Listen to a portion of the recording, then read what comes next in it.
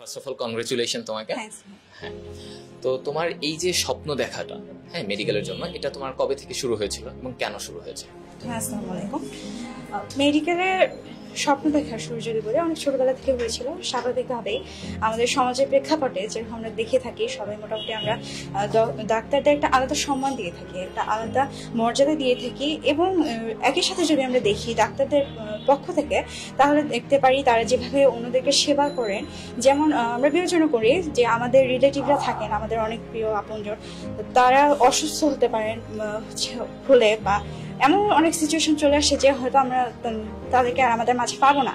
এই ধরনের ক্রিটিক্যাল সিচুয়েশনে ডাক্তাররা আমাদেরকে যেভাবে হেল্প করেন বা আমাদের মাঝে আমাদের আত্মীয়দেরকে, স্বজনদেরকে, আমাদের প্রিয়জনদেরকে ফিরিয়ে দেয়, তো এই ব্যাপারটা আমাকে মূলত অ্যাট্রাক্ট করতো। তখন থেকে আমি স্বপ্ন দেখতাম যে বড় হলে অবশ্যই আমি হচ্ছে ডাক্তার হতে চাই এবং আমিও এভাবে কারও না কারও ফ্যামিলি মেম্বারদের তাদের কাছে ফিরিয়ে দিতে চাই।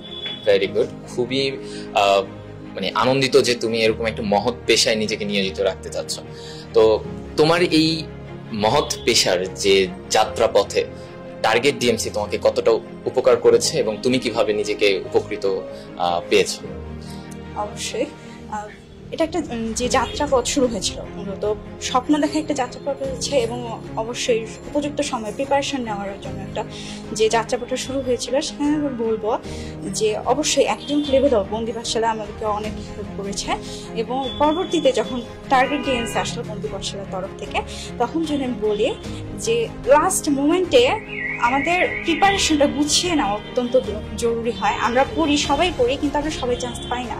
এখানে যে আমাদের ভিন্নতা তৈরি হয়ে যায়, যারা সফল হয় অ্যাজ ইউজাল আমরা বলে থাকি যে মেডিকেলে চান্স পেয়ে থাকে, তো তাদের যে বিভিন্ন পড়াশোনার প্রস্তুতির ক্ষেত্রে যে কিছু সিস্টেম থাকে, কিছু টেকনিক থাকে, এগুলো আমরা ওই স্টেজে নিজেরা রিয়েলাইজ করতে পারি না। এই জন্য আমাদেরকে রিয়েলাইজেশন করিয়ে দেওয়ার জন্য আমাদের হচ্ছে গাইডেন্সের প্রয়োজন হয়ে থাকে।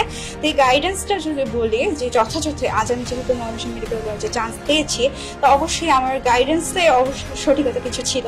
তো সেই উপযুক্ততা বা সঠিক যে নির্দেশনাটা, এটা আমি দিবাসালা টার্গেট ডিএনসির মাধ্যমে পেয়েছি। তো অবশ্যই আমার যাত্রাপথে অনেকের অনেক অবদান রয়েছে। সেখানে অবশ্যই টার্গেট ডিএনসির অবদান, ভাইয়াদের অবদান কখনোই ভুলান্ত এবং অনস্বীকার্য।